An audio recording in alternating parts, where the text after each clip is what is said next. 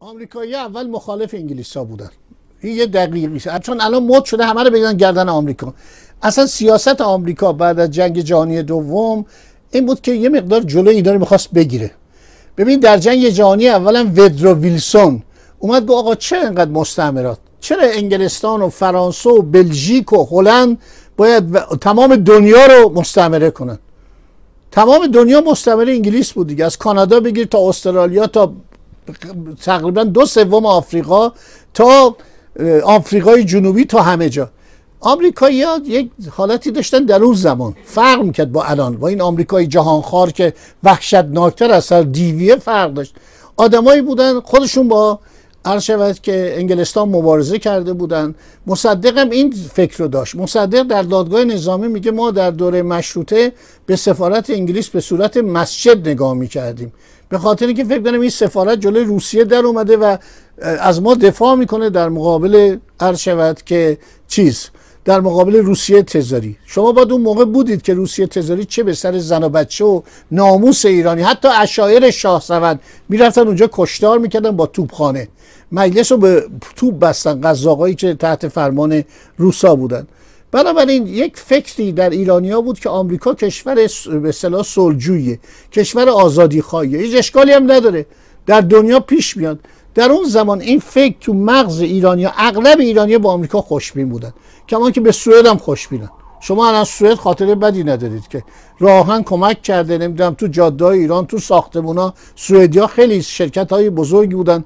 کمپسکس شرکت اسکاندیناوی کمپسکس این راه‌آهن واقعا اون زحمت کشید. شرکت سنتاب تو راه ها و دیگر شما از آلمان ها خاطره بدی ندارید که. برای اینکه آلمان ها هر چی بودن با هر جنایتی دو دنیا کردن تو ایران اومدن کارهای صنعتی کردن. و اتریشیا دارالفنون درست کردن. مجارستانی ها و اتریشیا یه امپراتوری بودن اتریش هنگری. بنابراین آمریکا در اون زمان مخصوصا با اولین سفیر کبیرش به نام بنجامین. یه نویسنده بود خیلی طرفدار ایران بود از ایران رفته تعریف کرده گفته شما کشیش به ایران نفرستید اشتباس. برای این مسلمان هستن و نمیشن. شما این همه 50 سال دارین کشیش میفرستید چه غلطی کردید الان هم شما دید تو تلویزیوناشون دارن یه ده ایرانی رو استخدام کردن که بیان تبلیغات مسیح کنن مردم اصلا ما چی داره میگه این آقا. بنابراین آمریکا یک کشوری بود به نظر ایرانی ها محبوب بیومد در جنبش مشروطه پاسکرویل کشته میشه معلم آمریکایی مدارس تبریز. اسلحه به دستش می‌گیره اسلحه به ایرانیا یاد میده. با کمک ستارخان جنازه این رو وقتی تشییع میکن تمام مردم تبریز میرن به تشییع جنازه این. همینطور در جریان بعد از 1300 یک شخصی بوده به نام میلیسپو. این حقوق اداری که الان حقوقای نجومی مشکل ایجاد کرده اون موقع نبود. یه حساب می‌کنه میگه آقا یک پهلوی اسکناس. یا معادل مثلا ده تومن معادل یه سکه پهلوی بود. اینطوری حساب کرد حقوقا رو میگم همینطور که پول طلا میره بالا حقوقا باید بره بالا. یک شخصی بوده به نام مورگان شوستر مورگان شوستر اومد ایران کارهای مالیه ایران رو کرد. از اتباع روس و انگلیس مالیه می‌خواست. یعنی فرستاد شاه السلطنه پسر مظفرالدین شاه که تبع روز شده بود رفت باغش رو مصادره کرد. اینا خدماتی کرده بودن. این فکر در امثال مصدق که آدم تحصیل کرده سوئیس بود و خیلی از آدم های مثل مصدق الان هم بنده بین آقای ترامپ با فلان سینماگر آمریکایی که فیلم علیه ترامپ تهیه می‌کنه یا مقاله می علیه آقای ترامپ میگه این آدم دیوانه است و این من فرق قائلم. معلومه که همه نمی‌تونه آقا آمریکا همشون جنایتکار همه نادان همه ب... نیست چنین چیزی. بنابراین این مسئله بود که مصدق وقتی از آمریکا امیدوار بود که آمریکایی‌ها همش به ایران کمک خواهند کرد که نکردن.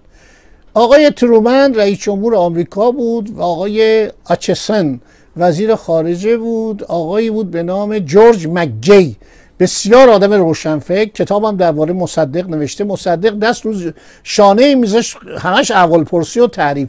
تو آمریکا مهماندار آقای مصدق بود. بنابراین آمریکا در اون زمان یه چهره خوبی در ایران داشت. چرا؟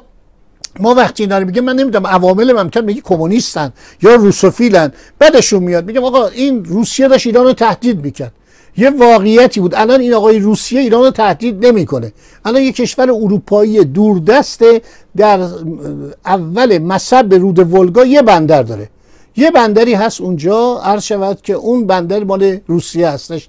ولی در اون موقع روسیه تمام اطراف دریای خزر یا کاسمی یا آذربایجان یا خراسان یا ترکمنستان همه اینا مرز ما با روسیه بود. اینا مرتب خرابکار میفرستادن جاسوس میفرستادن چکیس میفرستادن. اخیرا در 1900 عرض شود که 1999 یک کنفرانسی در کاختی در گرجستان در شهر تیساندالی برگزار شد. همه دنیا بودن جز ما.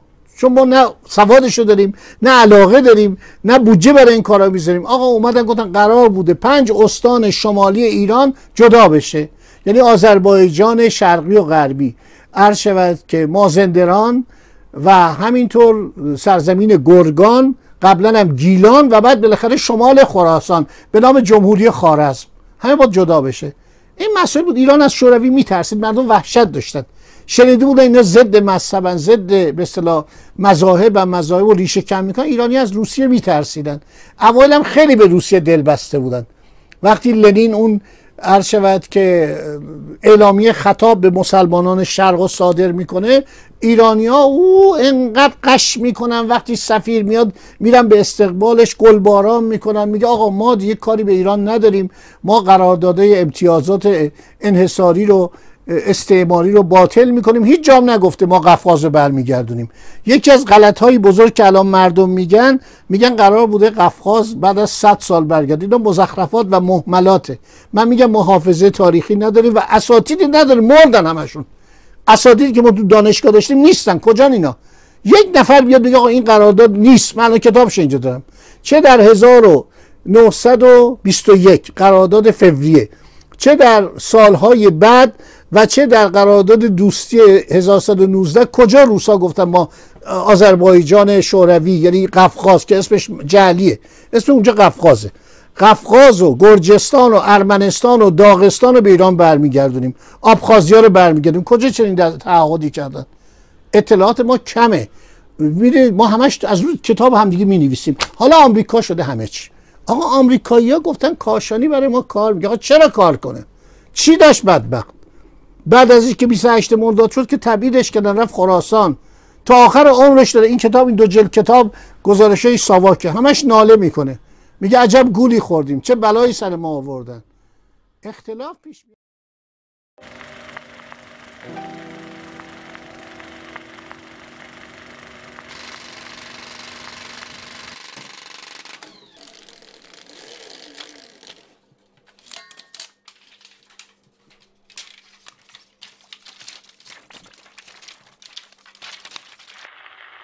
کودتای آمریکای انگلیسی مرداد 1332 در پی یک جنگ نرم پیچیده علیه نهضت ملی شدن صنعت نفت در بعد از ظهر 28 مرداد 1332 توانست با ساقط کردن دولت دکتر مصدق به اهداف خود برسد. تأثیرات مخرب جنگ نرم بیگانگان که منجر به بروز دو دستگی در جامعه ایران و انفعال نیروهای تأثیرگذار در جریان نهزت شد. در کنار انفعال غیرقابل توجیه دکتر مصدق که تا لحظه های آخر به حمایت آمریکا از دولت خود خوشبین بود در تقابل با کودتا و کودتاگران پیروزی سهل الوصولی را برای دول مداخلگر آمریکا و انگلیس فراهم کرد. و دستاوردهای یک نهزت بزرگ ضد استعماری را برباد داد.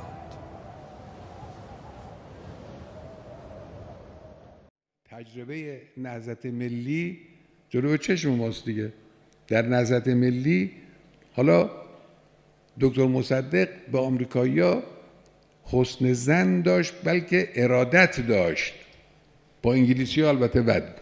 اما مایل نبود تکیه کنه به اونا. مایل به استقلال بود. اون کسی که عامل کودتا علیه دکتر مصدق شد نه یک انگلیسی یک آمریکایی بود. و پشت سرش بیش از دستگاه انتیجنس سرویس انگلیس سیای آمریکا قرار داشت. اینو دیگه. آمریکا اینجوریست. یعنی با یک نظامی با یک حکومتی که مطلقا حکومت دینی هم نیست حکومت انقلابی هم نیست. نهضت ملی که حکومت انقلابی نبود. فقط همین دنبال استقلال کشور از زیر یوغ انگلیس ها بود و خیال می‌کرد آمریکایی‌ها کمکش می‌کنه. با او هم نتوانستن بزازن با استقلال کشور.